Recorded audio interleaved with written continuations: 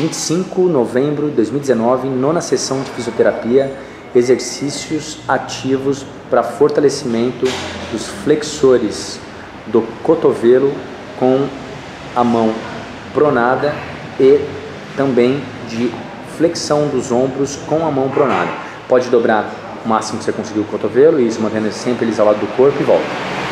Um, dobra o máximo que conseguir e volta. Dois, três, controlando bem a ida, controlando bem a volta. Quatro, cinco, isso, cotovelo mantém sempre do lado do ombro. Seis, sete,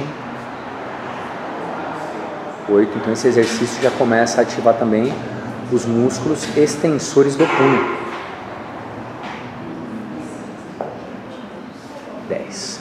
Agora vai com o cotovelo esticado, vai levantar até a altura do seu ombro. 1,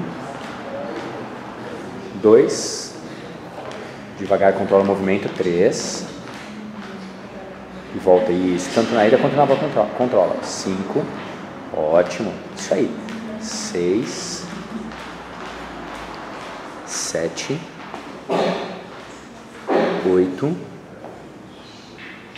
nove, dez. Então esse exercício pode fazer umas três séries de 10 ou de 15, tá? Sempre dando uma sequência. Começou primeiro com dobrar o cotovelo, fletindo, depois que você terminou a série, você passaria para esse.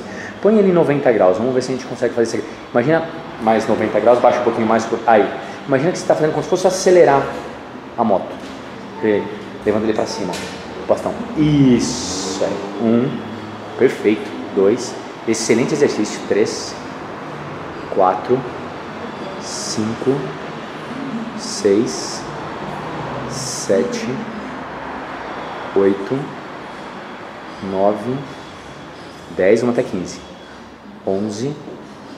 Doze. Controla bem a rede e a volta. Treze. 14, 15. Exercício para o paciente então com uma neuropraxia do nervo radial. 25 de novembro de 2019, nona sessão de fisioterapia.